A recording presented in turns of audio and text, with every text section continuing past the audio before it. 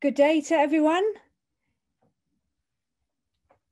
I'm delighted to welcome you to the Centre for Food Policy February 2021 Food Thinkers webinar. Our 2021 Food Thinkers seminar series brings together women redesigning food systems. Big ideas from women in academia, policy, business and advocacy on redesigning food systems.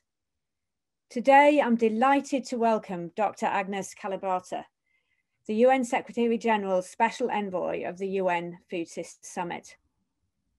She'll be talking to us about what it will take to deliver on the promise of the Food Systems Summit in achieving the Sustainable Development Goals, with extensive opportunity for a Q&A session.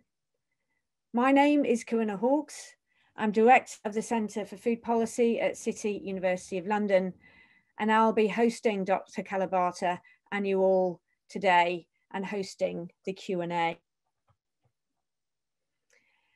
So Dr. Kalibata, as a distinguished speaker today, she works uh, with the UN system and key partners to provide leadership guidance and strategic direction towards the 2021 Food Systems Summit. Since 2014, she's also served as president of the Alliance for a Green Revolution in Africa. Prior to that, she was Rwanda's Minister of Agriculture and Animal Resources between 2008 and 2014, and has held other leadership positions as well, such as the Permanent Secretary of the Minister of Agriculture and Deputy Vice Chancellor of the University of Rwanda. She has been awarded numerous prizes and awards for her work as an agricultural scientist, policymaker, and thought leader. And she holds a doctorate in entomology from the University of Massachusetts. To Kalibata, it's a privilege and a pleasure to welcome you this evening. We're very much looking forward to what you have to say. I just wanted to mention that this webinar is being recorded and it will be made available online afterwards. Uh, we will be taking questions and answers, plenty of time for that. Please post them not into the chat, but into the Q&A. Anything that is posted in the, into the chat will be reposted into the Q&A. And if you want to tweet, please do, but please listen first and foremost. But if you want to tweet, our handle is at Food Policy City and the hashtag Food Thinkers. So with no further ado, I would like to welcome Dr. Kalibata. Over to you. Thank you for those introductory remarks, uh, Corinna. I've been looking forward to being part of this conversation. And I will do, uh, I will do two things. I will make a presentation, um, a brief presentation to you all to give you context and help you understand where the Food Systems Summit is at. And then I'll take questions from you all. So uh, um, if you can change and go to the next slide. So the Food System Summit was launched um, in 2019 on World Food Day with really three goals in mind. Um, the Secretary General had um, two, one thing that was extremely urgent in his mind. Uh, we have signed up to the, uh, to the SDGs, to the uh, 2030 agenda, and one year to five years then, which, which it was basically four years to, to, to us reaching five years of SDGs, we were not doing well. For example, on hunger, we were moving backwards. We had, hunger had been increasing for, for, for five years now. We know that hunger has been increasing for six years in a row now. And probably because of COVID, it has also gone uh, much higher.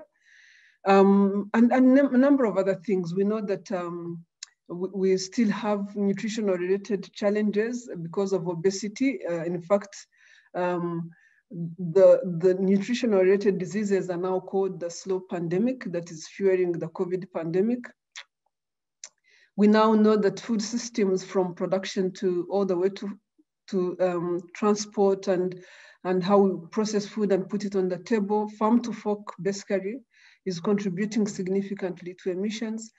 But we also know, uh, and, and COVID has done a lot to trust that, that, that really we have uh, vulnerabilities in our systems that we need to worry about, includes, including really uh, resilience that we need to be building, which was a challenge even before we came uh, to COVID. So when the Secretary General launched this, he was really like, he wanted to unleash bold action towards the 2030 agenda.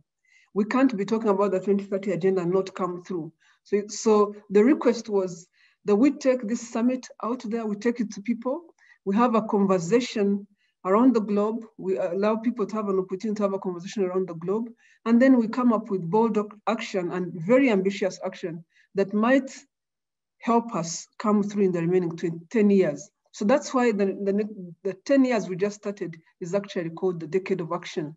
For the Food System Summit, but also it's a decade of action of so many other goals that are associated with the development agenda. And food systems basically touches nearly each and every one of the 17 um, uh, SDGs. If you go to the next slide, please.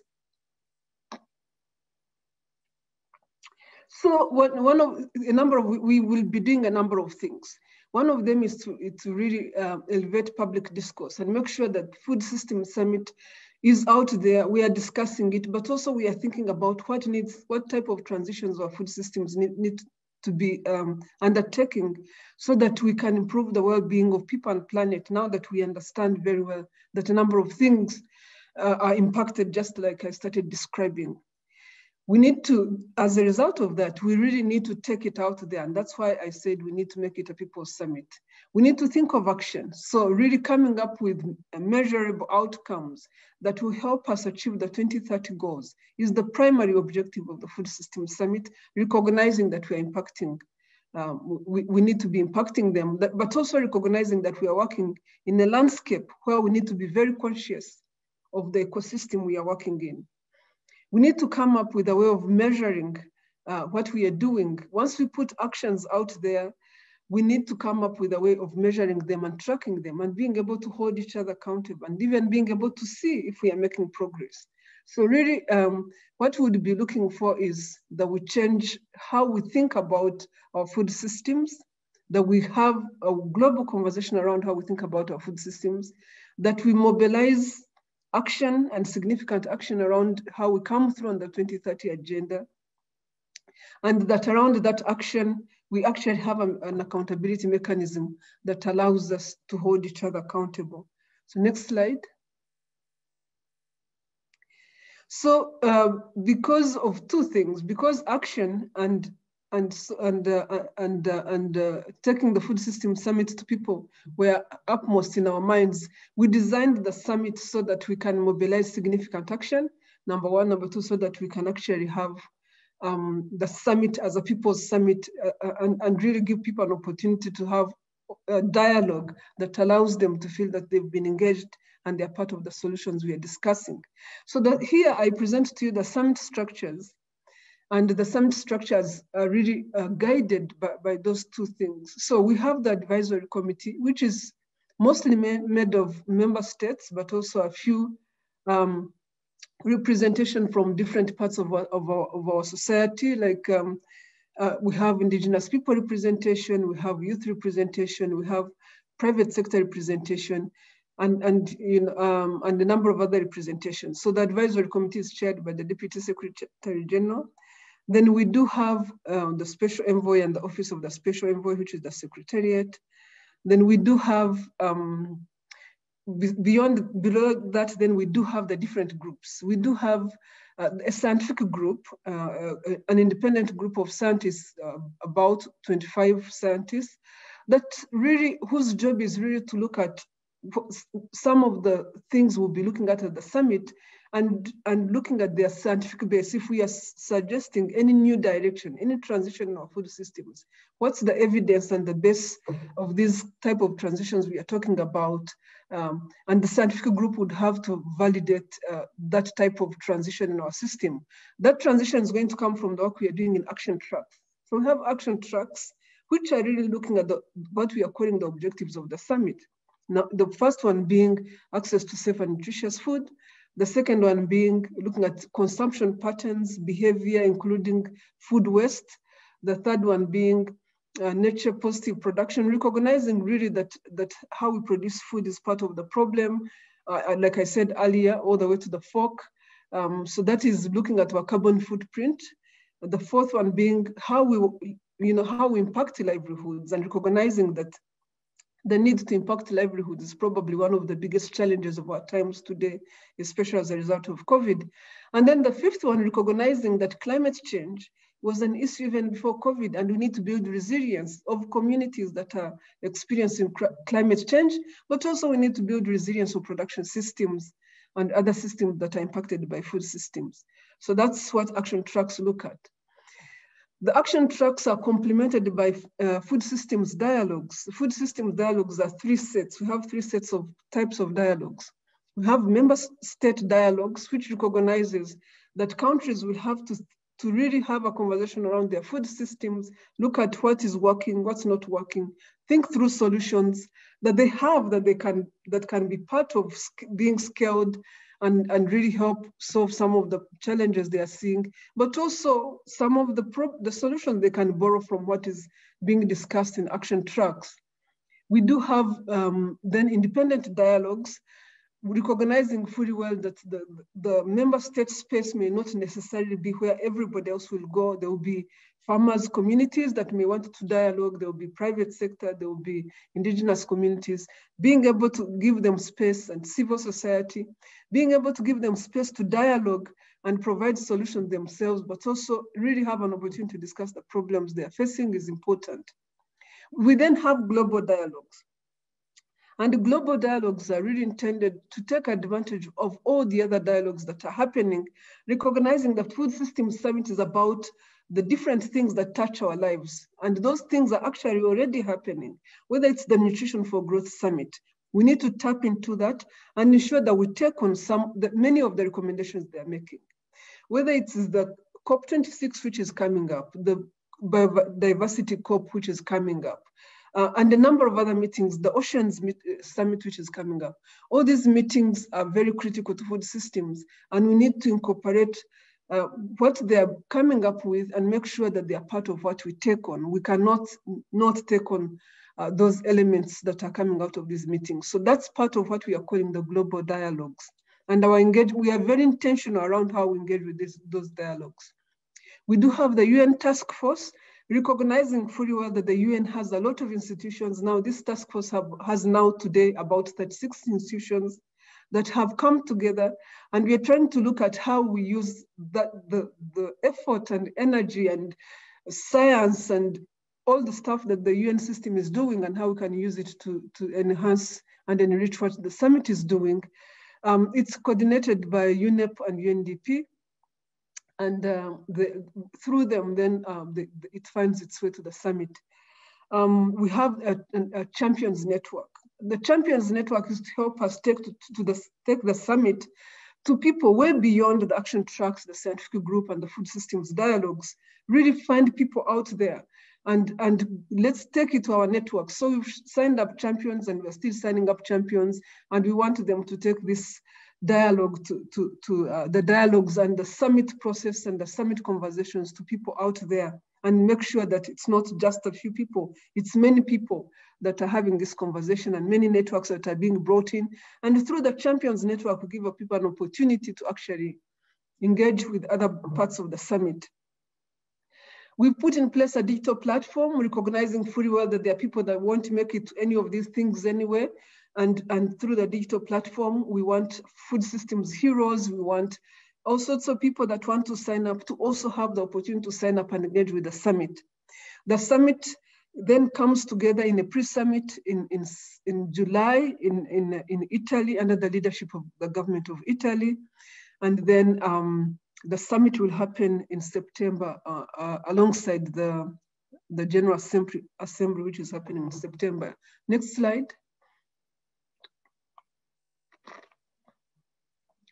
I've really described the scientific group and the expectation from the scientific group. This slide here shows you that um, they are looking at a number of issues. They are looking at modeling. They are looking at policy, uh, uh, policy briefs that will be coming out. And they are looking at different thematic papers based on the different areas I told you. They will be looking at um, uh, there are a number of cross-cutting issues as well. For example, how do we finance many of these things? So we have finance as a cross-cutting lever. We do have women and youth as, as cross-cutting um, uh, issues we need to look at and, and a number of, of other human rights and, and uh, a number of other areas that we think are critical to look at. So many, many papers are being developed uh, on the critical areas that, that I mentioned earlier, objectives of the summit, but so are um, papers being developed on some of these cross-cutting issues.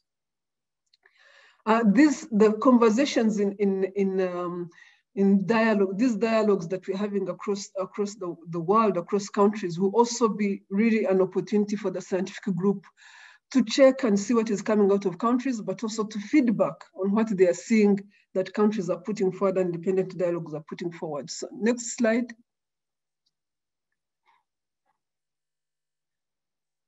I've discussed action tracks in detail. Here, this just tells you how our action tracks are structured. One of the things we looked at is um, to try to make sure that we provide space for civil society. Most of the action tracks are chaired by uh, different institutions, which are mostly uh, civil society. The vice chairs of these action tracks, um, we've, we have two vice chairs.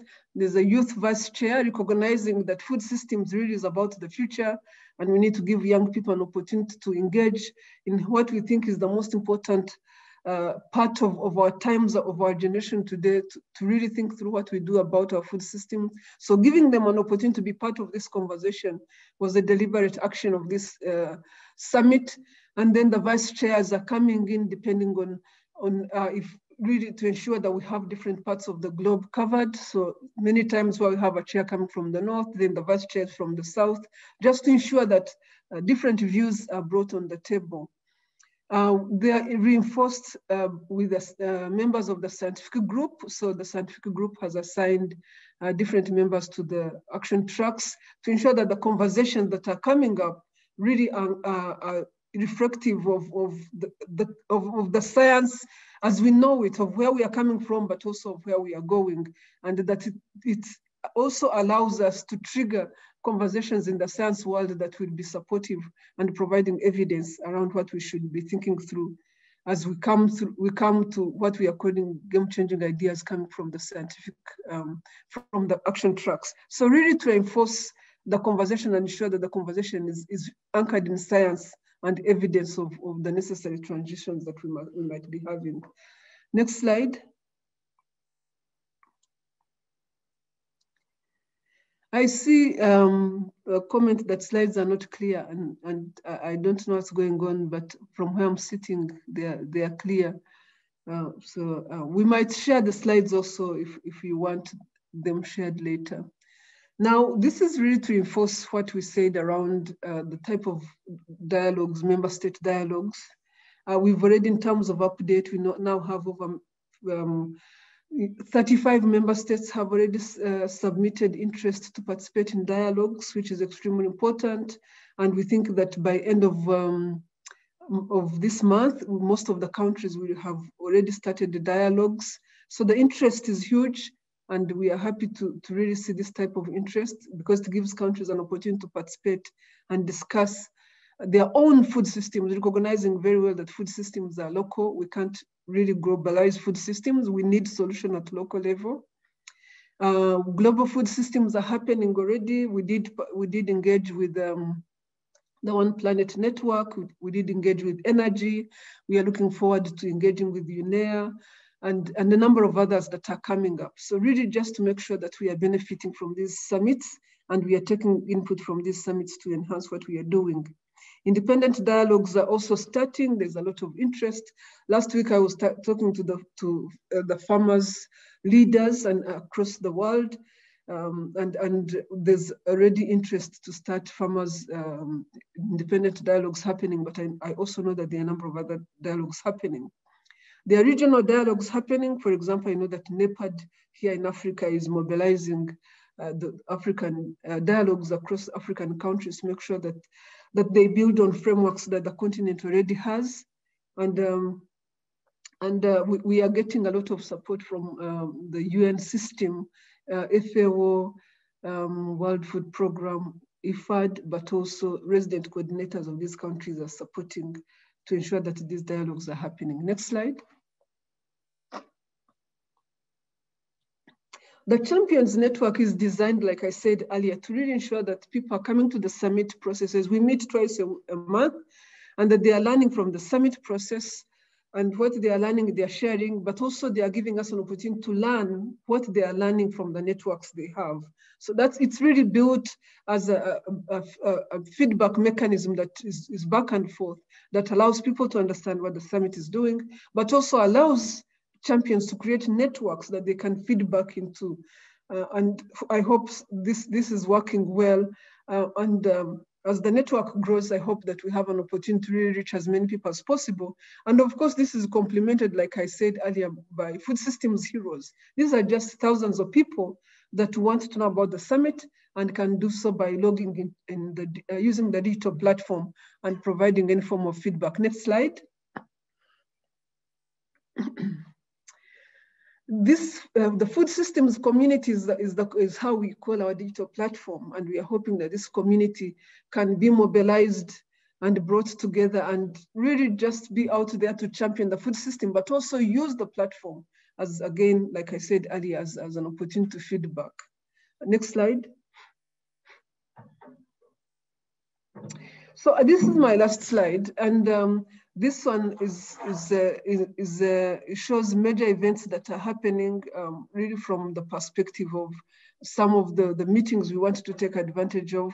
We want to make sure that the, the, the, the meeting, the, the food systems uh, conversation and, and summit really gives and provides an opportunity for uh, dialogue with, around food, but it is not about food. It's about the food systems and the system under which we produce food. It's not about hunger. It's really about all the things that that um, that we do to impact our world and how our world impacts us. And so we, we like I said earlier, we, we, we are very conscious of, of tracking and, and, and making sure that we take advantage of um, of all the meetings that are happening, that we are ensuring that the, the conversation around food security is happening, especially because we know now that many more people are hungry today than they were before, that the conversations are happening around nutrition and health, nature and climate, social justice and, and livelihoods, but also the whole SDG agenda uh, keeps would have to keep coming together through these conversations. At the end of the day, my primary responsibility is to ensure that we elevate the conversation around how we come through on SDGs, given that we have 10 years to go, and given that, uh, again, the challenges we see in our landscape means that if we continue at this, at, the pace we are working at, we would never be able to come through. So I'll end there, and I will take any questions you might have. Great, thank you very much, uh, Agnes, uh, for setting that out also very uh, clearly for our um, our audience. And uh, thanks for the audience for listening and beginning to pose those questions. Thanks very much. And, and that was really very clear about, about the, the summit and the promise of the summit. If I can start uh, with, a, with a question, Agnes, your presentation showed just how passionate you are about the potential of the Food Systems Summit to unite the global community uh, around food, all the different people that are engaged and involved. What is it about your connection to food that makes you feel so passionately about it?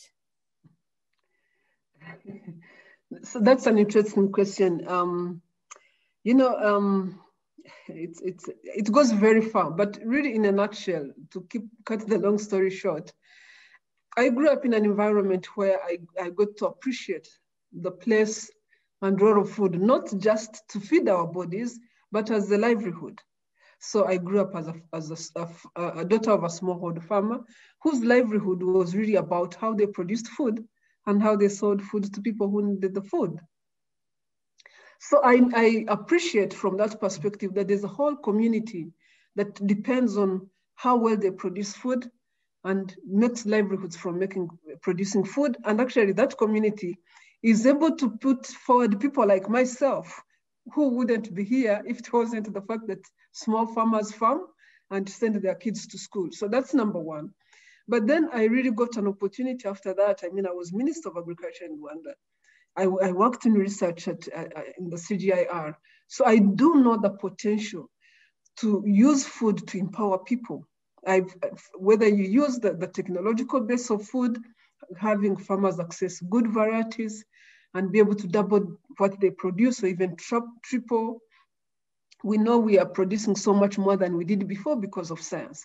Being able to get science in the hands of farmers is an opportunity I had because I was in government and I had the opportunity to really see where science and policy can meet and transform people's lives. So really my belief in food comes from the fact that I've seen it in action in terms of how it can transform people's lives, not just feed people, but transform people's lives. And there is a significant part of our world that depends on food for their livelihoods. So really that's, that's where my, my, uh, my belief comes from, but also knowing that we can support these people to have decent livelihoods with what they do. Well, transforming people's lives is very much what the SDGs uh, is is about, and indeed what all the solutions spoken about are. You've shared the vision for the idea that the, this is a solutions summit. What solutions have you experienced in your own long career in food, which you really think can make a difference to improving the food system? So, uh, you know, when the, the approach I take to agriculture, for example, and uh, food, the food perspective in the part of the world I live in is that what we are trying to do here in Africa, for example, to help farmers uh, feed themselves uh, is, is not something that, um, that is rocket science, it's something that has been happening forever. I'm going to excuse myself and, and connect my computer, sorry.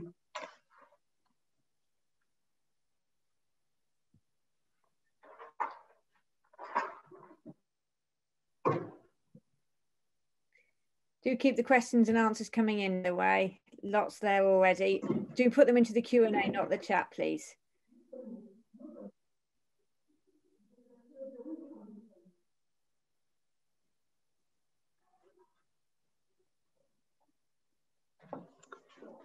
Sorry about that. No problem. Yeah, sorry, I'm sorry about that. I was saying that um, you know, some, of the solutions, like I said earlier, are based on simple things like accessing better varieties, right?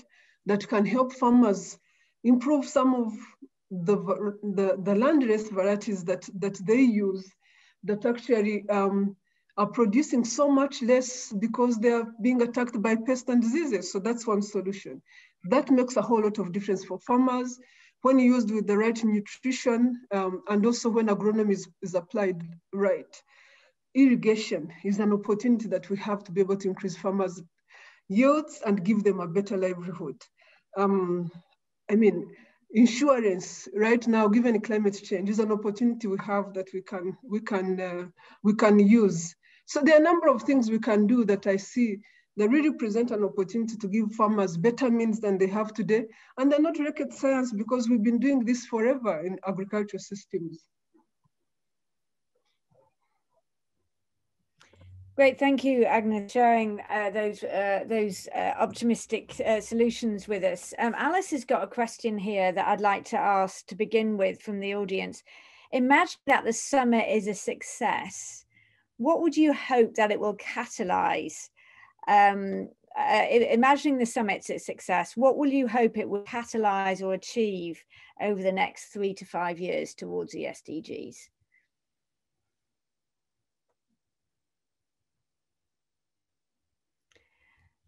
Agnes, I'm afraid we can't hear you.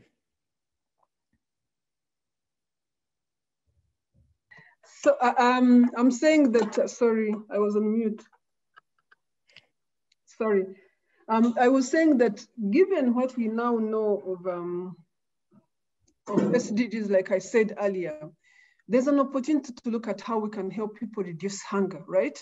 And the, uh, the number of studies have been done, most recently the ZEF report, but also the Ceres report, that show that the amount of money that we need to deal with hunger is really not that much compared to the problem we have now dealing with COVID, something that happened because people are trying to get a livelihood. So there's an opportunity to actually fix some of these problems. And we do have the means to do it. We just have to raise that ambition and want to come through for other people. But I think there's also an opportunity now with COVID where we do recognize and realize that these problems are not as local as we think. whether it's climate change. I mean, right now, my part of the world is experiencing a lot of climate change. People are not, people's yields have gone down significantly, and they, they didn't, they're not even significantly contributing to climate change. But, and, and so is COVID. COVID happens locally and then becomes a global problem. So we are not now recognizing even more than we did before, that these problems are, are not as local as we think, that these problems impact part of mankind, impact all of us and we need to be doing something about them. So it's not that we don't have the means. I think it's not, it's just that we really have not thought through how interlinked our world is and how these problems are linked and how solving them is a win-win for all of us. All, another, another way I could look at it is um, we have farming communities in my part of the world that also should be giving their part. Their part is reduce degradation of landscapes. Their part is, you know, um, you know, do a better job and try to, to get informed on what is going on. And we will work with them and help them understand that. And that's why we're having these conversations with governments and making sure that governments, including our own governments here, understand what is at stake and understand how we're impacting the, the environment. So I do hope that all of us, with this type of summit, with this type of conversation that we are taking to every community, that we are actually giving people an opportunity to ask themselves what their part is in the problems that we now see and how they can be part of solving these problems, how we can help them solve these problems. So really elevate that conversation, elevate that discourse, give people an opportunity and, and then start asking for commitments around what we could do differently. What can we do differently as individuals? What do we do differently as communities? What do we do differently as countries? What do we do differently as a world that sees ourselves at crossroads with nature? So a role and responsibility for everyone. I, have got a couple of questions here, technical questions about the nature of, of the summit. Um, Camilla is asking, can anyone be a champion or, or a food hero? Um, there's so many people who want to be involved. Can anyone be a champion or, or a hero? And Louise is asking about the process to prepare um, high, the high level call to action from the summit. So I had the first part around can anyone be a hero or a champion? Anyone can be a hero. A, champion is restricted, the ability to be a champion is restricted by how much we as a secretariat, which is a pretty small team, can engage. Really, we, we just have so much to do. And we want to make sure that we have, um, we have a, a, network from our, our community, from our globe, really global network that allows us to engage people and, and help ensure that these people are also connected to larger networks. So we can only engage them and we don't have the capacity to engage everybody. So we are looking to probably have a max of about 100 people uh, that, that, are able, that we are able to engage directly and, and have them engage their networks and through their networks really reach, uh, cascade, really have huge networks behind them. But in terms of signing up and getting to know what the, the, the summit is doing and contributing ideas as, as a food hero, everybody's free to and, and welcome to do that. But the second part Great, of the question. I did hear. Uh, sorry, yes, um, about the high level outcome document of the of the summit. What, what is the process of getting to that? Uh, the high level outcome document of the summit is going to be uh, uh an SG document. So um, the, the Secretary General is going to look at the process of the summit, look at what we've been able to achieve, and really work, you know, come up with a statement that tells the world what we are going to be doing in the next 10 years based on what we've agreed and what we've discussed. It will be accompanied by different forms of commitments from governments, from private sector, from all of us. And uh, Hilda asked, what's the best way for ordinary people, as she puts it, uh, to become involved in the dialogues? So dialogues are happening at country level and um, um, we have the way it is structured right now, every country provides a convener. Uh, uh, the, the role of the convener is to ensure that the key ministries, and, and here I'm, I'm being very intentional because sometimes people think that dialogues, these dialogues and the food system is about um, is about food, but no, it's actually about about four five sectors that impact food, and and bringing those sectors together and show that they're part of the dialogue that is happening is important. So we are looking we've asked, uh, the, the uh, Deputy Secretary General has asked countries, each country to step forward and bring a convener. And we'll be asking that convener to bring those ministries together, bring the conversation, engage private sector, engage all different, different types of people in those conversations. But also we provided a platform, an online uh, independent uh, uh, dialogue platform that allows other people to engage. These people are mostly going to be people that have something in common, right? That are farmers, that are again, private sector, civil society that want to dialogue. So those people can come there that kind of way. And people can sign up, or young people, they can sign up depending on which group they want to be part of and engage in those dialogues. So right now there are trainings that are going on. Uh, so we, we've, we, we are working with um, David Nabarro, who is really uh, ensuring that these dialogues um, have a, a, a way, uh, in, I mean, that people understand the manner in which they are being conducted and the, the trainings are happening at country level so that the conveners do understand how to bring in people, how to have people sign up. But I think there's, there's also an open sign up process where at country level you can, you can engage with the conveners. And once we know the conveners, we also make them public so that people know can approach them. Once we have independent dialogues going on, we also make them public so that people can engage. Great, thanks for, for that clarification. Now, there's a whole bunch of questions that are coming in about science um, that's going to be um, used as input into, um, into the summit. One, um, so I'll just bunch some of those together, Alan, Mallory, Claire. Uh, how will the expert research, which is coming out on a daily basis, including in the last couple of days, going, going to be used in the summit? But also, what are the tensions around this? Because we know that scientific research has been uh, undertaken much more so in certain areas than others. And, and, Claire gives the example that there's been more scientific research supporting uh, more conventional modern forms of agriculture uh, and industrialized agriculture is the term she uses, compared with agro, agroecological techniques. And uh, Mallory has the makes the point about how to make sure that the the science is being used, uh, and these other points coming in about how to make sure that because there's more science in some areas than others, how to make sure that's that's balanced out. This is a, a tough challenge, I suppose. I imagine the, the, yeah, that's a, it's it, there are major challenges out there that we have to, to sort through. Um, that the scientific community is going to have to, to sort through as they look at um, some of the ideas we are proposing and we bring them forward. I think uh, the part where we want the science to, to work a lot is when we start looking at the type of transitions we need to be having and being able to tell us why those transitions are important for our food systems, number one, and why those transitions are not more mistakes in our world that actually they're taking us to a better place. And these are these scientists are experts that have been doing a whole lot of science before. We are they are not amateurs, they're people that have been in the landscape and they have huge networks.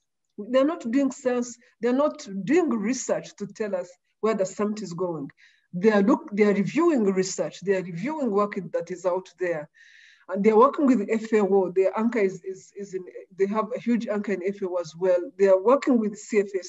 There's a whole lot of information that they have to build on. As you're saying, there's agroecology on one hand, there's industrial agriculture on another hand, there's green revolution on another hand, there's agroecology on another hand.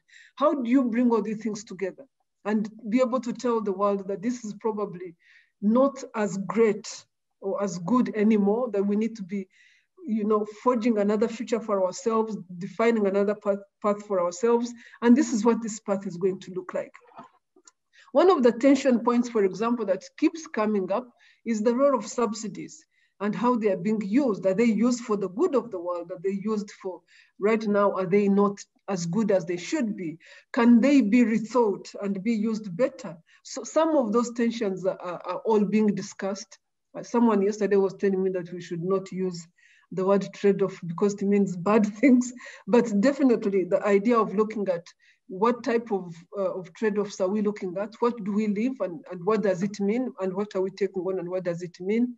But the bottom line is we really should be using science to give us a certain degree of comfort that where we are doing is, is much better for the well-being of our planet and, and, and well-being of people. Great, thank you. Uh, thanks, Agnes, uh, uh, for for that um, uh, uh, dealing with that uh, that that challenge. So there's um, some questions here about youth and young people in the summit. so Isabel and um, Emily, thank you for your questions. Isabel says it's great to see that there's a youth representation on the scientific group, but will there be a moment in the Food Systems Summit uh, where young farmers can interact and exchange um, experiences. And um, Emily says, what is your advice for a young person wanting to raise awareness of sustainable food systems and gain a platform in this area? I think that really sounds great. Um, like I said, from an independent dialogue perspective, we can have young farmers dialogue you know, it, we can have young farmers come together and start a dialogue that allows them to share notes, that allows them to say, this is what we think is probably the biggest and best idea um, from a farming perspective that can go forward. I'm not saying that that idea will necessarily be taken forward, but at least it will be given light of day in terms of being looked at um, from, from an, an idea perspective and being really scrutinized to see if it, it might be one of our game changers of our, of our world. One of the things I've been saying is game changers are not necessarily going to come from scientific papers. They're going to come from practitioners. They're going to come from people who do these things every day. They're going to come from farmers. They're going to come from indigenous people that live this world uh, and, and this life. They're going to come from businesses who live this every day people who meet, see these problems every day and have a way of thinking about solutions are going to be part of contributing those ideas. And my hope would be that as we take them forward, we actually have a few that come from young people because they've they've looked at them or they have experienced them through through some of the things they are doing and we can really take them on and use them in terms of engaging again, they can, young people can participate in independent dialogues. We do have a forum separately for young people, uh, which we are trying to grow and which as we go deeper into this summit, we are going to make sure that they, they are center stage. Like I told you earlier, we, we are trying to do everything that to make sure that youth are given center stage. And as we go, we get closer, we are going to make sure that we provide even more space. We haven't had the capacity, but now we do. So we are really going to double down on our efforts on, on, on working with young people. But right now, I would encourage them to participate in the dialogues, to create that independent dialogue space, to ask for support from David and start their own dialogues. Great, excellent to see those opportunities. There's another bunch of questions um, that have, have come in about the challenge of keeping the food system within planetary boundaries.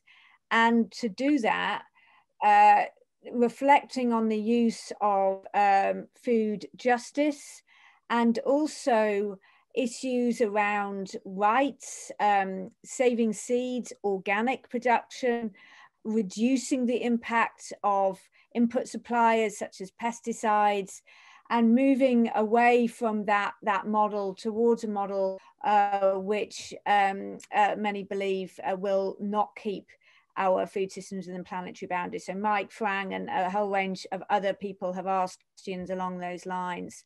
Uh, we'd love to hear your reflections on that. Good, very good. Uh, listen, I think the reason we are having food systems dialogues is because we are trying not to be prescriptive. We are trying to give people a choice and an opportunity to discuss how they can fix the challenges of food systems, recognizing fully well that we are we have a number of challenges, beginning with not being able to feed ourselves in some places and, and be living outside our planetary boundaries in many other places. So incidentally, there are going to be cases where feeding ourselves is paramount and feeding people is paramount. But the process, for example, here in Africa, the process of getting farmers to feed themselves, using what is at their hands, which is land and, and, and rain-fed agriculture, is actually at the expense of more land because they're not producing enough, they don't have enough inputs, so they get more land into agriculture. Now, we have to balance that with helping them get access to inputs that can help them produce more with less and save more land. Uh, but I'm not going trying to be prescriptive here. I'm just trying to say we have choices, we have trade-offs to make. And those choices are going to have to be, we are not going to starve people. That is out of the question so that we can save the environment. That's not going to happen. But we are going to have to understand how we create a balance between using our environment to feed people and feed people and have them have decent livelihoods and, and save our environment because we are not going to crush our world either. So it's finding that balance. And again, it's going to be country by country. It's going to be situation by situation, and I cannot be prescriptive here. But I need us to recognize that that balance has to be created locally. Thank you. And, and you mentioned livelihoods there. Paula has a question here about alternative livelihoods for farmers who might not be part of this transformed food system. How uh, will resources, how will resources be allocated to ensure a just transition uh, for these uh, for these farmers? So um, again, a just transition can be looked at many ways. But say, for example, and farmers means they are farming, right? But if you wanted, if we wanted as a world, we decided that, you know what, farming in this type of landscape is not sustainable anymore. There has to be a just transition, right? I've seen examples uh, where, just to give you a, a, very good example, I've seen in Rwanda, uh, my, my, home country, where we, have we've, we've been working on, on ensuring that we save the mountain gorilla, which is the last one of the last, I mean, the last species of its kind that, that, that exists and, and, and, and if we're not careful could face extinction. So my country has a choice to make, right? The choice is we, we, we preserve this environment for this mountain gorilla, but the environment is highly encroached, right? Part of ensuring that those farmers have a livelihood has had to be a transition for them to move from farming and to increase the land available for mountain gorillas. But the economy that is being built around that actually ensures that those farmers have a livelihood, have transitioned into a different form of economy. They are part of the tourism economy. They actually make money from tourism. They are not required to farm to have a livelihood. But it's a process and we have to educate them and we have to ensure that they can be, they can manage that new livelihood. We have to really give them the, the necessary tools to help them survive and live that in that livelihood. So these are some of the things we are going to have to think through. When we think through about rehabilitating our environment, when we think through reducing footprint on the environment, some of the choices we are going to have to make is how we support communities that are directly dependent on the environment to actually be able to transition from that dependence if there's another livelihood that can be created but it's not something they can do on their own. And we, we need to understand our role and place in making that happen. It has to be a shared responsibility. Indeed, thank you. Uh, Molly's got a question here. You mentioned the importance of, of narrative uh, and the uh, one of the outcomes of this summit about the narrative about food systems. What, what do you believe should be part of this narrative? And do you see any opposing narratives uh, coming up against that? Against the food system narrative. So the food system narrative uh, for me, go ahead. No, I was just uh, sorry to, to, clarify. So, what what do you think should be in the narrative coming out of the summit, and do you see any opposing narratives to that? I think the, the, the narrative we are looking for um, going to the food system summit and, and, and beyond is that we, we, it's within our means. You know, it's within our means. We have the science behind us. We have the means behind us. It's within our means to stay within planetary boundaries. It's within our means to stop waging, uh, as the, the Secretary General called it the other day, waging a war with nature. It's, it's, it's something we can, we can do this. It's something we can do. And we can start by coming through on SDGs. We have the resources. We have much more resources than we need, but we also have the ambition and we have, we can build the partnerships and coalitions that can help us come through. Probably not one institution can do it, not one country can do it. And it's true, not, none, none of us can do it individually, but we can, as a people, form the right level of coalitions and partnerships to be able to come through on this. So I, and then probably for me, the most important thing, we also have the opportunity. What we are seeing right now, the rate at which environmental challenges have been coming up suggests that we probably at really the last stretch of stretching our environment.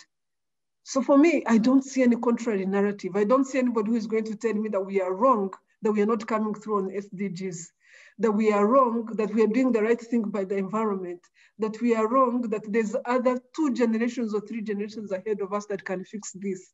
I, on, I think that we are probably the, the luckiest generation to be in a position where we can be able to do something about our environment while changing our food systems, while changing livelihoods at the same time. So I think we have a huge opportunity and I don't see that there's a parallel or contrary narrative. Great, thank you. Now, one of the questions that often comes up, and, and you'll be familiar with this, is about the role of different interests in the system. We know that the food system, uh, despite the opportunities and shared narrative, is full of different interests. And sometimes those, uh, often in fact, those interests uh, conflict. So there's quite a few questions about this, and I'll, I'll, pose the ones that Alison Stewart and Eugene have put in. Um, the first one is about what do you hope to see by engaging with business, including small and large food companies, investors, and finance? And the other questions are saying, how will you manage? Is there going to be a formally published uh, statement about how you are going to manage the fact that there are these different interests, some people would say conflicts of interest in the system, particularly uh, with large companies. Can you give some insights about what your reflections are on these on these tricky issues. Okay. so in terms of dealing with business, the way I've been looking at business is um, small businesses are probably, um, you know, they, they're challenged a lot, especially with COVID. A lot of them have been challenged and, and um, a lot of them will have to rethink their path and, and, and, and really we have to, to think through how we help them, you know, get back on their feet in this landscape post-COVID. But when I look at big businesses, there are opportunities for big businesses to think through how they their businesses impact people, how their businesses can can really be part of contributing to the betterment of society. And the good thing is, I think they've been stepping forward. They are looking for opportunities. We've been pushing around, um, you know, the, the social bit that they've been engaging around is not working enough. You know, uh, the, the, the trying to, to put up, um, I, I, I always forget this word because I don't like it, that social thing that businesses do so that they're coming through for people, which really some, many times doesn't happen. I mean, a recent study showed that 12% of the businesses that have signed up to coming through on SDGs and, and, and doing and, and, and supporting SDGs, only 12% are doing what they signed up to do. So they, they have a good talk, they talk a good talk, but being able to come through is still challenging. So we are doing a number of things. We are saying there are things that businesses can do together, and these have to be big things. And they need to commit to these big things. They can, if they're working with farming communities, they can commit to um, living wage for farming communities they're working with. If they are dealing with waste, they can commit to zero waste. If they are dealing with uh, agriculture, they can commit to regenerative agriculture. If this is where we are going. I mean, there are a number of things they can commit to and start really uh, ensuring that we are transitioning our, our world toward this. But there are also things they can commit to as individual businesses. So I, I'll be looking for big things they can commit to, which when we when they do together as businesses, they translate into major transitions in our systems. And then there are things they can do as individual businesses that done together across several businesses, across hundreds of businesses, they also allow to transition. I think here the most important thing is that we put in place a mechanism of tracking what people are saying and how well they come through. We have 10 years to, to track whether we can actually come through on this and to give them an opportunity to actually demonstrate they can come through on this. I think here the, the issue is everybody understands we have to do something different. We have to come through. And I, have seen a lot of goodwill from business and, and I, I believe they are committed to coming through. I have no reason to think that this time they're not committed to coming through. Uh, thank you for those uh, reflections.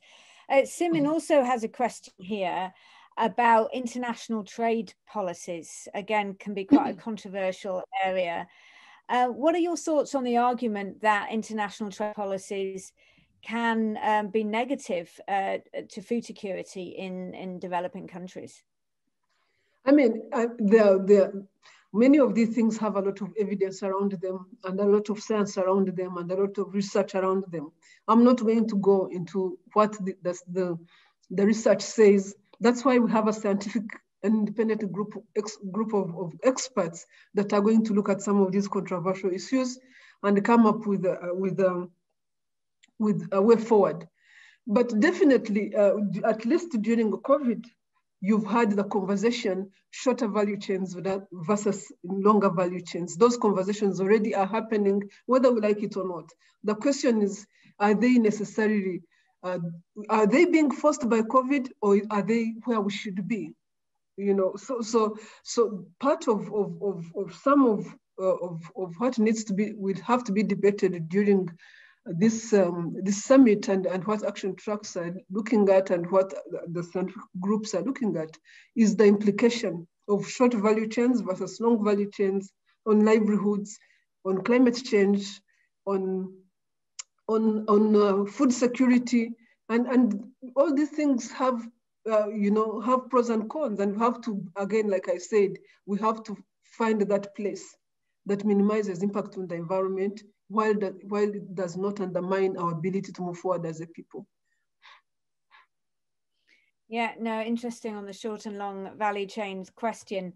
Wendy has a question here about the role of women in food systems. Uh, she says, We already know that achieving sustainable food systems is only possible women everywhere are empowered and their rights are recognized and respected.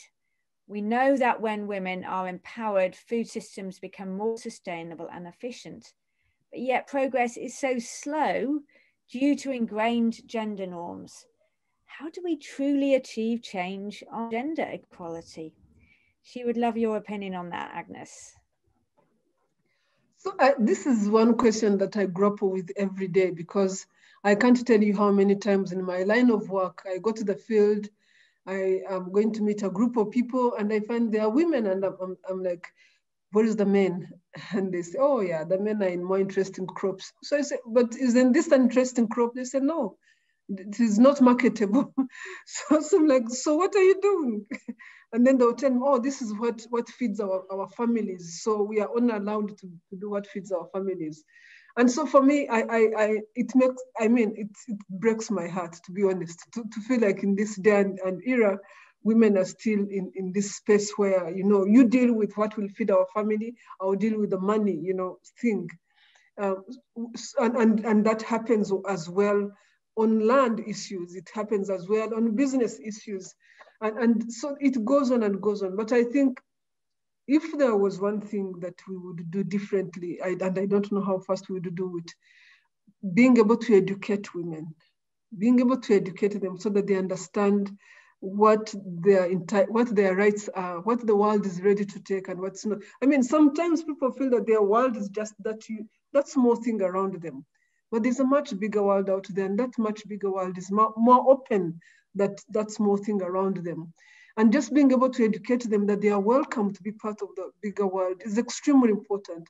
And I'm not sure that we are doing it enough. We just need to double down. So that's number one. Number two, they are overburdened. It, it also, the information may not get to them because they just are so much under so much weight that they have no time to come up for air and try to understand the world around them.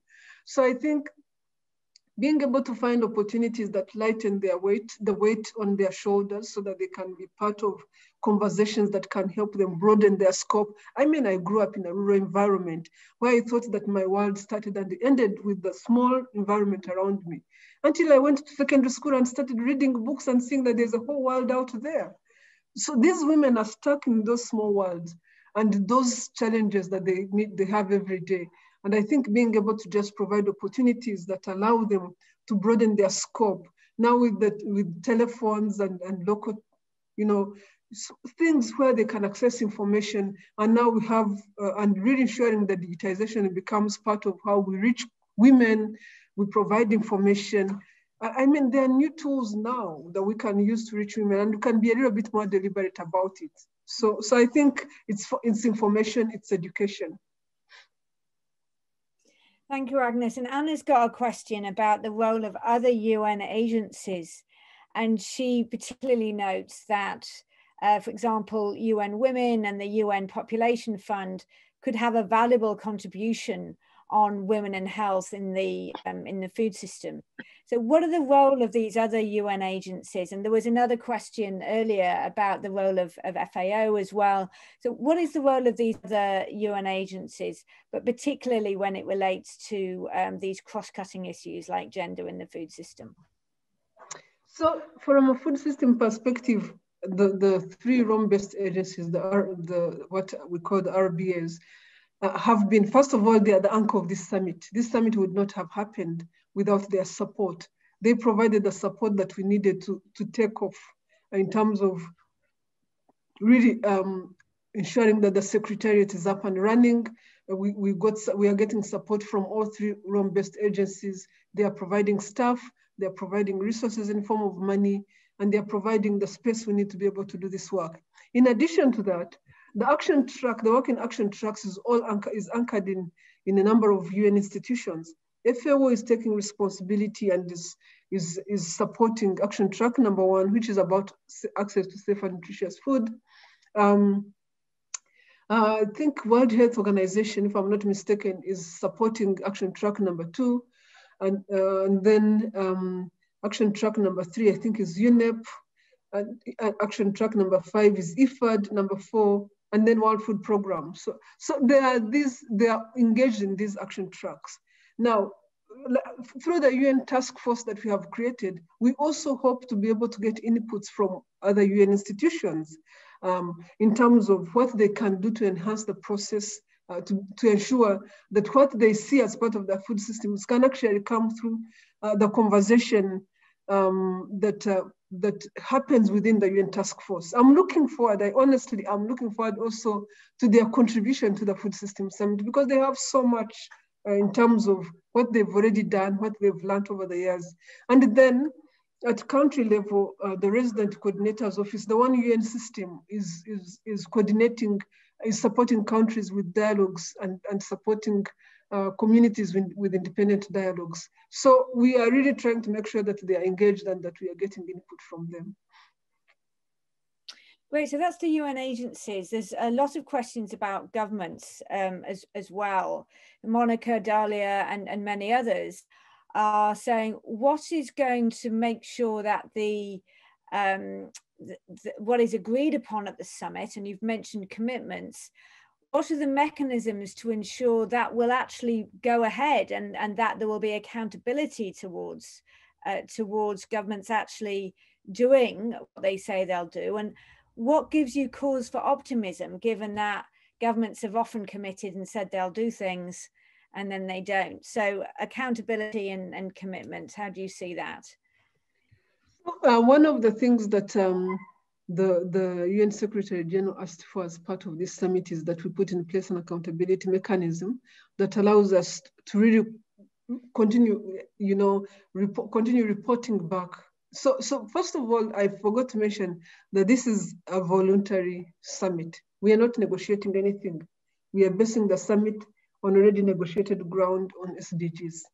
So whatever is going to happen is going to be voluntary whatever is going to happen is going to be that people recognize the opportunity that the UN system offers, that when we do commit, we can make global commitments together and, and really really bank uh, and, and, and, and use the backbone of the UN system to galvanize you know, action together. We can also use that to track how well we come back on, on the action we've committed to. So it's really, it's really um, something that people are going to have to do and countries are going to have to do because they know it's the right thing to do. But we will put in place and and and and um, and businesses, but we will put in place a tracking mechanism that will at least will inform us as citizens at the end of the day, inform us as citizens, inform all of us whether what these countries committed to, whether what what uh, we globally are committing to, businesses are committing to, whether we are coming through. Uh, we can't force people to do the right thing, but we can at least be able to talk about whether we are seeing the right thing happen. We can ask that the right thing get done and we can track how it gets done and we can report back. So all of us know whether we are appropriately represented or not. Government's are about people after all. They represent all of us. So what, if we really mean it as a people, we can actually ensure that our governments come through. So on the role of, oh, you can see there's hundreds of questions coming in here. Agnes, you're you're doing a brilliant job at, at uh, answering the quite intense questions uh, coming in. Uh, and in terms of accountability, I suppose the, the bottom up, uh, the people uh, movements are also important. Um, Alwyn asks, what role do you see for citizen-led responses to food sustainability challenges and community groups um, um, what role do you see them playing in transforming um, the, the, food system? And she notes, and, and, you did earlier as well, about how under COVID, uh, there's been a lot more short value chains uh, come out uh, and uh, communities responding uh, to food insecurity. So, what are the role of these citizen-led, community-led, smaller, often very resource-poor uh, organisations and people? My hope would be that as we are taking the food systems dialogues out there, as independent conversations are happening, that we can actually adopt these conversations to even local communities, much, much, much smaller at and local and, and small scale. And what would be the nature of the conversation? The nature of the conversation is how we can try to, first of all, help these local communities understand what is at stake. Number one. Number two, help them understand that they have a role in, in really changing what is at stake, right? Ensuring that we save our environment, ensuring that uh, we do the right thing, ensuring that um, they understand that uh, we can do these things and still be able to deal with hunger and still be able to feed our children right. You know, so I the, the conversation should be able to give communities an opportunity to understand challenges that they are living with, but also be able to understand if they have some of those solutions within them and where they don't have solutions to be able to look outward and request for support. We want to do ABCD, but we can't be able to do it. So that's where we're talking about transitions. Maybe there are going to be transitions, but can these communities be able to have the transitions by themselves? Or do they need to be working with all of us to support them have these transitions? You know, so I think uh, my, my hope is that when, once those type of conversations happen, then we actually take the, the we, we actually take the food systems local we, people are asking themselves, why do we have that patch, patch of land over there? Why is someone cutting a tree? Why is someone doing this and that? When we actually agreed, like in my country, you can't throw plastic down and walk. We've already agreed as a country, and not just a law. Individuals tell you, pick that bottle of plastic. It's not supposed to be there. We do that in Rwanda. So when that happens, and from in our food system, we know that what we are doing is impacting our system then really we, we are owning it. We, we do it now with energy. I mean, you, you sleep in a hotel, but before you, you turn on a tap, you know your responsibility because they've made, they put the information out there for you. Please save water, please save electricity. We need to build this level of consciousness in our, in our food system so that individually we understand our demands. You know, we make such demands and as, as individuals, the food system translates on your plate, on my plate the demands we make impact our food system. And we can do something about it for, for those of us who are able to define our plate. but we can also help those communities that are living with, with, with the environment as their only source of livelihood. We can help them cope, cope better and take better responsibility because they actually love their environment. They're the best keepers we have. But many times they do what they have to do, and what they have to do uh, leads to destruction big themes of everyone having a, a well and being outward looking and supporting others coming out very strongly from what you're saying.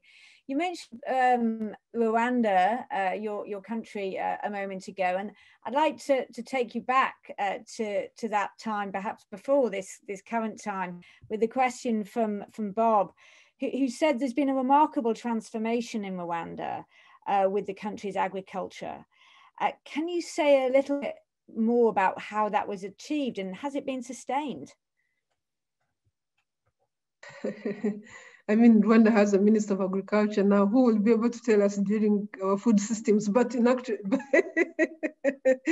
that was a long time ago. But um, but I think the basic things that I, have talked about that I would like to go back to is uh, it's not just Rwanda. Any farmer that is that has an opportunity to produce more with, with less, because Rwandan farmers have small pieces of land with less, um, you know, can start shifting their, their, their, their livelihoods. And let me just paint a, an example for you using Rwanda. You know, many people say, oh, no, you guys are uh, going monocrop or whatever. No, the, the most important thing when you, you, you start working with farmers and you want them to adopt seed, improved seed so that they can produce more with less, you, you show them the value of the seed. Usually that seed is not going to be multiple seeds. It's going to be a certain seed that is scientifically proven to do well, right? It's going to be because they manage their soil in a certain way. It's going to be because they have a good set of agro agronomy and, and support system. So you put all that together and the farmer can double their yields, can triple their yields. What you're doing right there, you're giving them a choice, you're giving them an opportunity to start thinking what they need.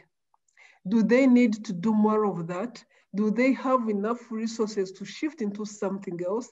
In the Rwandan environment, for example, every farmer that makes some money growing maize wants to buy a cow. and the only reason they buy a cow is because they want to improve the nutrition of their soil. They use the manure to improve the nutrition of the soil. Once they do that, the next thing they want to do, they want to go into horticulture because it's more productive in terms of money. They get more money from horticulture in the same piece of land. So again, like I said, I think we, we have an opportunity to to educate communities and help them access technologies. But the, where they land has to be a place where, which allows to, allows them to, to, to really improve their livelihoods, but also to, to, to help them you know, use the resources they have. So in Rwanda, for example, most farmers, if you ask most farmers, they will probably uh, be settling in a horticulture environment, very different than where we started when I was minister, because we were starting from ground zero. Today, they are looking at business. They are looking at how much money they can make from their small pieces of land. So um, there's no permanent situation in agriculture. You can't say we introduce this system and it has to be sustainable. The sustainability of agricultural systems is the ability to provide livelihoods for the people that work in them. Yeah.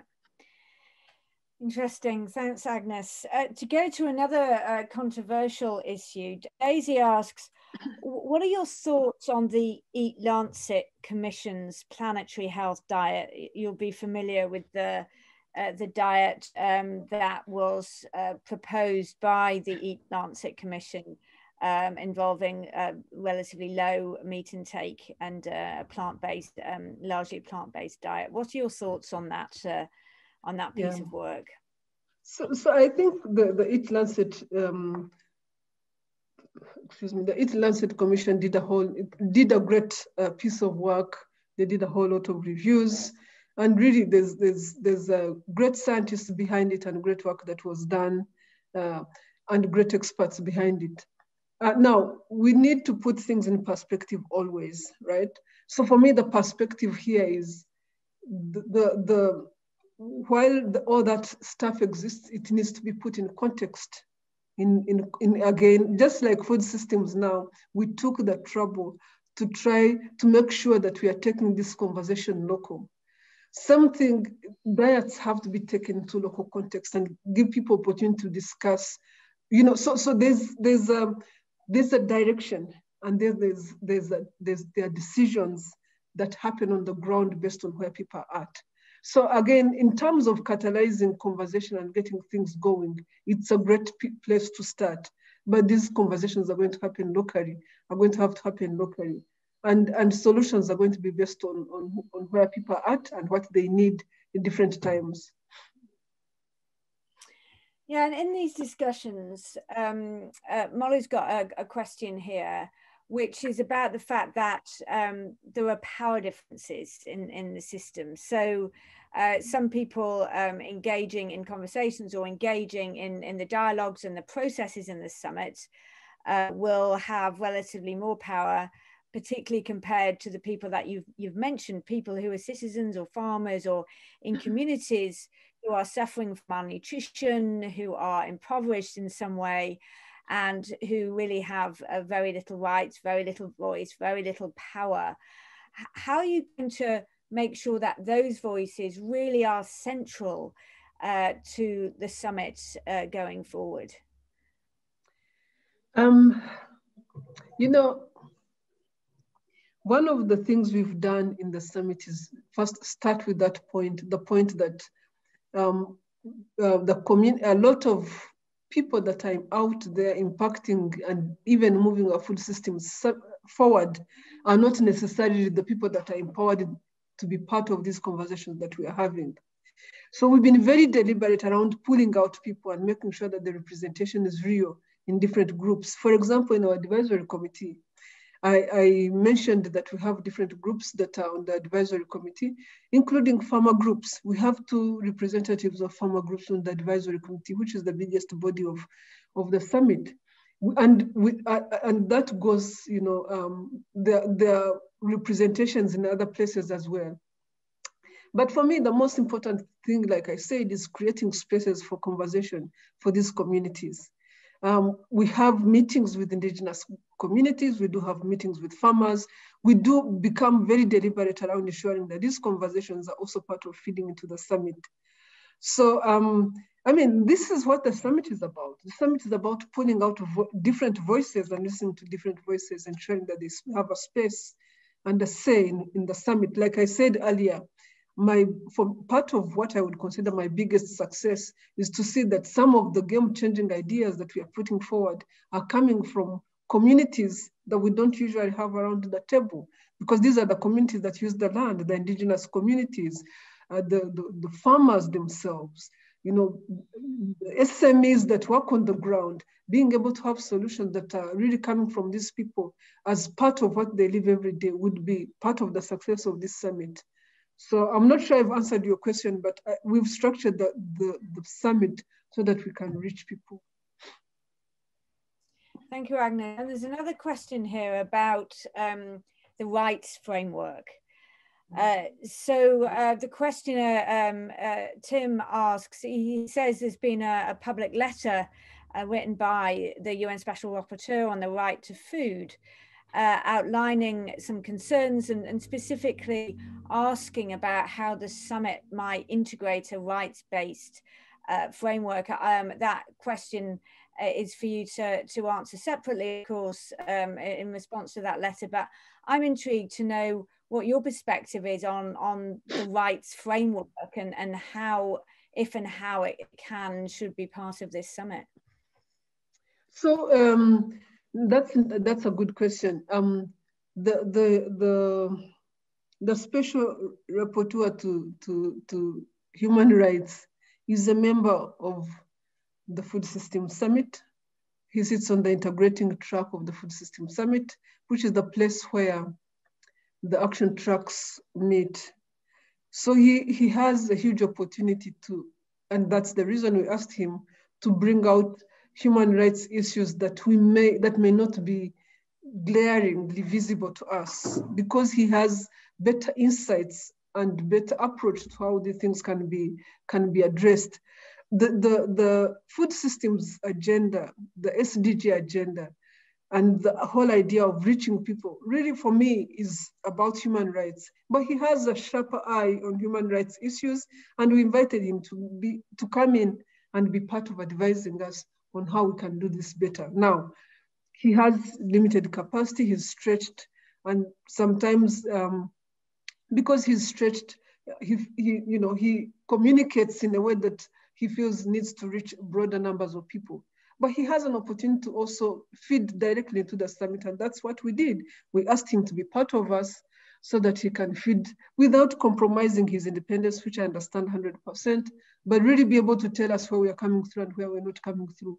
And this is paying off because I see that he has had an opportunity to look at the different papers that are being um, being designed by different action tracks. He's you know, he has an opportunity to talk to them one-on-one, -on -one, engage with them. So I hope that how he's thinking about human rights will be reflected in the meetings he's having with the team because he has he has inroads to the teams that are working on the summit.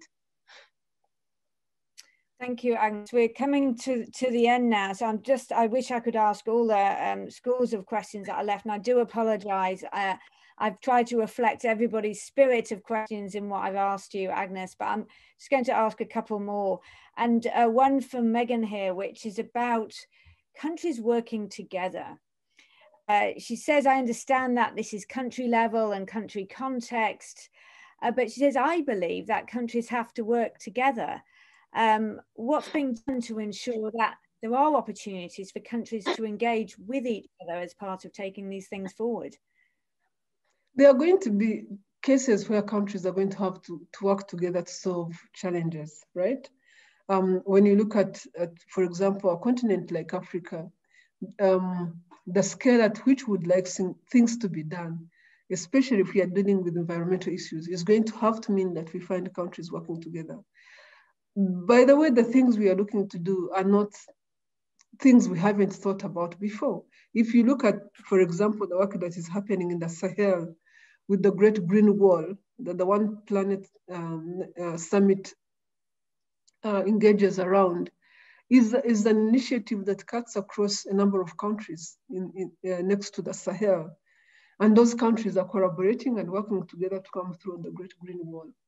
When you look at how EU is putting together some of its work around how it expects countries to come through from a food systems perspective, uh, from from a food perspective, from a farm to fork and, and the Green Deal that they have designed, these are frameworks that are bringing a number of countries together to recognize what they share in common and what they can drive together. I think the Food Systems Summit and some of the actions we take after that will be mostly characterized by those type of uh, cross-country engagements, but also coalitions among partners that don't necessarily are not necessarily defined by borders, but want to come through in a big way.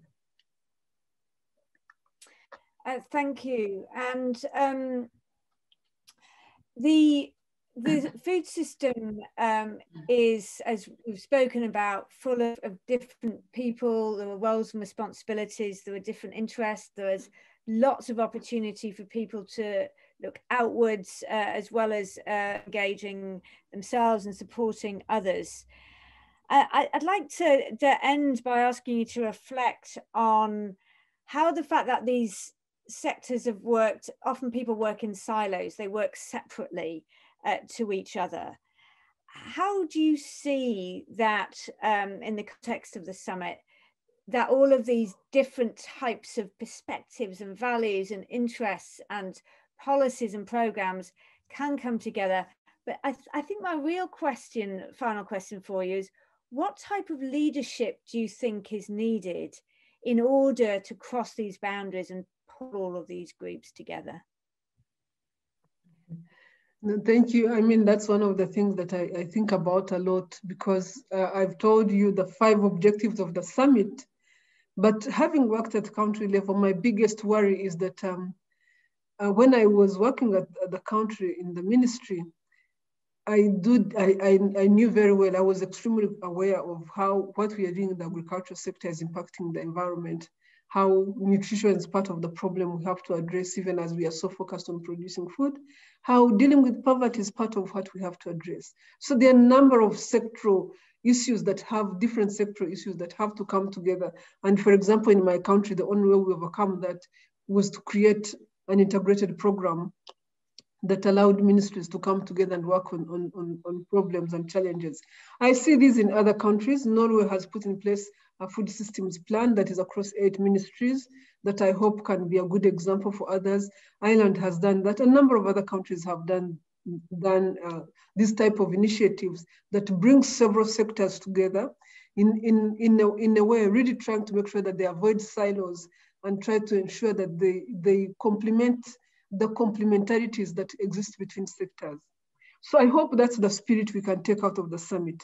Now, within the summit process itself, uh, what we are doing across, across the different action tracks and bringing in the, the scientific community as well is we, are, we, we, we meet, so each track is trying to bring ideas across, across itself. But we, we need to understand that in the real world, in the real world, these ideas are going to have to cut across. So we have what we are calling an integrating track that brings all these leaders together. And in the next one month, we will start a process of looking at game-changing ideas that cut across, that are not that are not reinforcing silos, but are creating opportunities really to, to, to, to bring ideas that cut across um, the, the food ecosystem and provide an opportunity for us to, to really um, hit several things at the same time. So it's something that is on our mind. It's something that we are doing. Uh, there's no perfect answer, but at least we are thinking about it. And I hope that we can find solutions to it. Thank you, Agnes. And would you like to, we're at the end now, would you like to add anything or make any uh, any final remark? No, I, for me, the, the most important uh, thing I would like to add now, at, at least what I think is the most important thing today, is first of all, you had over 200 people at this time of, of the night. For me here it's in Nairobi, it's, it's, it's at night. Um, so the fact that you, you were able to mobilize this number of people is something I really appreciate. And I just wanted to say that um, if there was one thing we could do now, between now and the, the pre-summit, is really to engage around the summit, really to get to inform ourselves what is at stake, and really to push, really to, to ensure that our environment, our, our thinking around the food system and the ecosystem is coming up with solutions to the problems we've been living with, except now we are much more conscious of the fact that we need to come up with solutions to these problems. And we have an opportunity to come through. So just participating in these dialogues, being part of the conversation, being part of finding solutions, demanding that solutions be found is can never, I mean, it's probably the most important thing we can do right now. And I encourage everybody that is still online to really take this and take the message out there and ensure that we're engaging so that we can be able to, you know, define a better future for, for, for the future of this world. Thank you very much. Demanding that solutions be found, uh, something we all must do. Uh, I'd like to thank you very much, uh, uh Dr. Agnes Kalibata, for answering such an incredibly large number of questions uh, thrown at you like that. Uh, thank you to our audience for asking such a rich set of diverse questions. And uh, thank you very much. And I'll wish you the, the very best of luck um, with the summit process. Thank you. You, you wish us, not me, all of us. thank you, thank you, Corinna, for thank you for organizing this, and, and really thank you for giving me the opportunity to talk to you. And again, I would love to do this some more. For the next one year, I'm going to do all this stuff until it gets to everybody. Thank you so much. Thank you. Thank you, everybody. Thanks for okay. joining. Bye.